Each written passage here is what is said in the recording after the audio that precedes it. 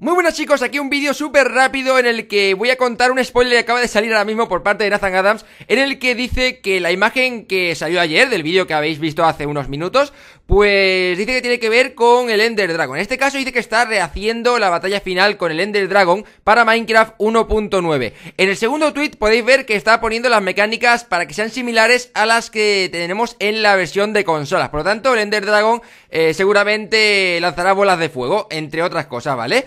Y por último, tenemos un último tweet en el que dice que si hemos matado ya al Ender Dragon en nuestro mundo, que no nos preocupemos porque podremos llegar a matarlo de nuevo en su nueva forma sin resetear el End. Seguramente aquí donde entre el tema en el que están los Endermites, ¿vale? Ya sabéis que hace un montón de tiempo se supo que gracias al Endermite pues se podía volver a revivir al dragón, pero en este caso hasta ahora no hemos sabido que era totalmente cierto y que se iba a llevar a cabo finalmente. Entonces, como veis, podemos volver a luchar contra el Ender Dragon, esta vez con una nueva forma, no se sabe todavía cómo, pero esto tiene que ser genial y no sé qué más decir, la verdad es que estoy súper emocionado, ya se verá qué es lo que pasará, ya veremos si hay una nueva forma mucho más genial del Ender Dragon o sea igual pero con nuevos ataques.